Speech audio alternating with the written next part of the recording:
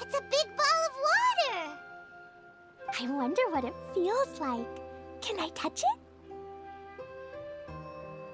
It's so big that we could probably pass straight through it.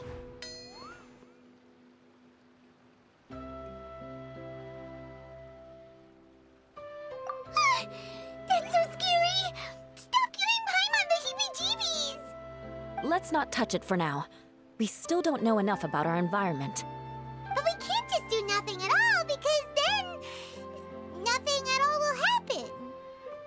Hmm. I have a feeling that this could be the core that sustains this entire bottle domain. In which case, the moment we touch it, this place will instantly revert to its original size, with all of us still inside. Yikes. Okay, okay. Paimon won't touch it. Jeez.